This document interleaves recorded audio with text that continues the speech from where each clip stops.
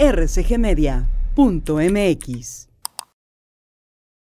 Lo que parecería una broma del Día de los Inocentes se ha convertido en toda una realidad. La semana pasada, la Procuraduría Federal del Consumidor anunció que algunas marcas de sopas instantáneas saldrán del mercado.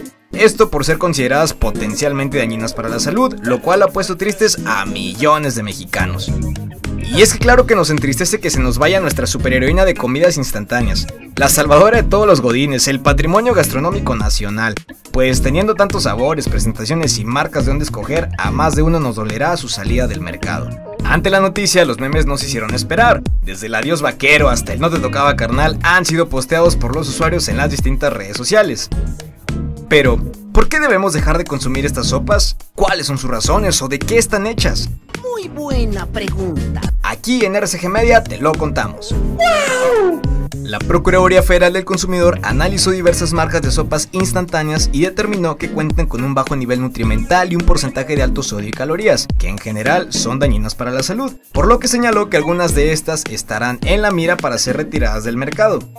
Entre otras cosas, se encontró que estas sopas tienden a producir taquicardias y dolores de cabeza entre los consumidores, lo que podría atribuirse a su elevado contenido de glutamato monosódico. Pronto se harán a conocer los nombres de las marcas que desaparecerán del mercado, aunque es probable que en general termine todo el comercio de sopas instantáneas. Ay, ya no hay buenos días, Bart, solo días. Así que, cuéntanos, ¿cuál era tu sopa favorita? ¿Las vas a extrañar?